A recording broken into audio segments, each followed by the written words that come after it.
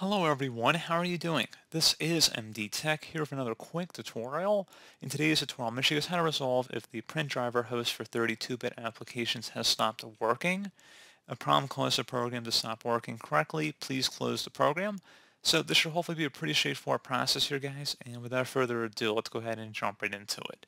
So first thing I recommend doing would just be to save and close of any open programs and applications and then restart your computer as well as restarting the printer. So turn off the printer and then turn it back on again. If you're still having a problem, something else we can do as well. If you open up the search menu, type in troubleshoot. Best match will come back with troubleshoot settings. Go ahead and open that up. On the right side, you want to select other troubleshooters. And then underneath most frequent, you want to select the printer troubleshooter and the run button. And then hopefully be able to resolve the problem if you had, in fact, an issue. I also would recommend going onto the printer manufacturer's website and seeing if there's any new drivers or software available for your printer. Most major manufacturers have very simple tools that they'll actually download right to your computer and it will check for and update the latest drivers available for your hardware.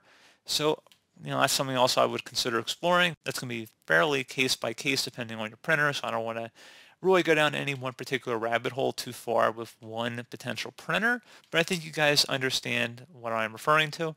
So pretty straightforward process, guys. I do a able to help you out, and I do look forward to catching you all in the next tutorial. Goodbye.